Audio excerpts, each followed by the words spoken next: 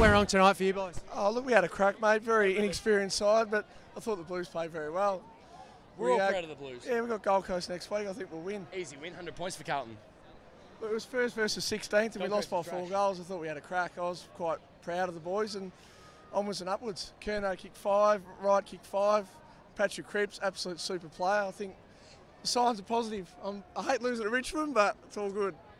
Yeah, you nearly pipped the premiers. We nearly did. We kicked the first five, and geez, they were silent. They were very silent. Oh, but bullshit. uh, unfortunately, we don't play them again this year. But bring on round one next year. Do we really not play them Nah, again? it's only once. Oh, if, if you make finals, we'll be there. Jack Silvagni was very ordinary. I don't, I don't think he got a kick tonight. Silvagni. I don't think. No, He's there. He's there. I don't think. I don't think he got a kick. Yeah, he did. might have to have a oh, spell. no, he got one in the first Tom quarter. Williamson, he'll put his hand up for selection. Yeah, the Blues are going all right. Matty Wright. What do you reckon you need to fix up for next time? Uh, probably a new captain. Marc Murphy is no good. He runs around the fluoro orange boots. He skirts the packs. He's been ordering for 12 years. say, and it's time to go, You know, Marc what? Murphy. you know what the difference was? yeah. No Bryce Gibbs. Carlton might actually win a game. You've, you've gotten rid of the bun. I know he might have got a haircut over in Adelaide. Sam Docherty's a big loss also.